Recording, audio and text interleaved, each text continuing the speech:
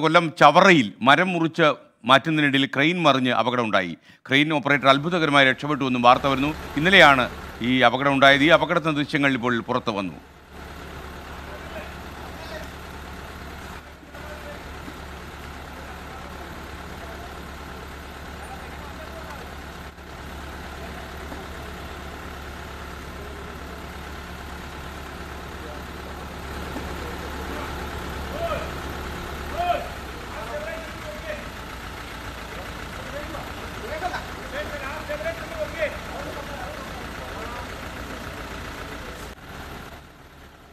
വല്ലാത്തൊരു അപകടമായി പോയി എന്തായാലും ഭാഗ്യത്തിന് അദ്ദേഹം രക്ഷപ്പെട്ടല്ലോ. സന്തോഷം.